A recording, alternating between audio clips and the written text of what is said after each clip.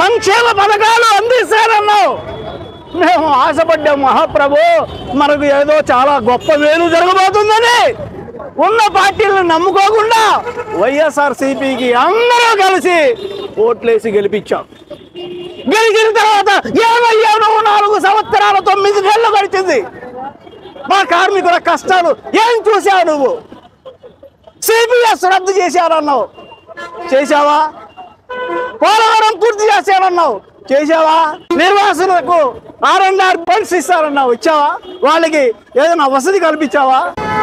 అలాగే ఏదైతే మనకు రైల్వే జోన్ ఉందో రైల్వే జోన్ ఊసేలేదు. ఇరవై మూడు మంది ఎంపీలను ఉండి ప్రభుత్వం మెడలు ఉంచేస్తాను కేంద్ర ప్రభుత్వం మెడలు ఉంచేస్తాను.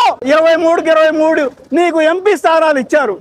రాష్ట్ర ప్రజలు నూట యాభై నూట యాభై ఒక్క స్థానాలు ఇచ్చారు నీకు. ఎక్కడ నువ్వు ప్రత్యేక హోదా ఎక్కడ తీసుకొచ్చావు? తీసుకురాలా ఇప్పటి వరకు నువ్వు వాళ్ళకు అడుగులకు మడుగులెత్తుతూనే ఉన్నావు తప్ప ప్రత్యేక హోదా గాని విభజన హామీలు గాని నెరవేర్చకుండా మూలన కూర్చుని ఇవాళ మళ్ళీ నా ఎస్సీ నా బీసీ నా ఎస్సీ నా బీసీ అని చెప్పి మొరపెట్టుకున్నావు. రెండు నెలల ఇంకా నీకు టైం ఉంది. మా దగ్గర ఉన్నది ఒక ఆయుధం. ఓటు ఆయుధం. రెండు నెలల తర్వాత చూపిస్తాం. కార్మికుల ఎండ చూపిస్తాం. నీ ప్రభుత్వం దిమ్మ తీగలాగా తీర్పు ఇవ్వబోతున్నాం మున్సిపల్ కార్మికులే కాదు విద్యార్థులు ఉపాధ్యాయులు జాబ్ క్యాలెండర్ లేదు.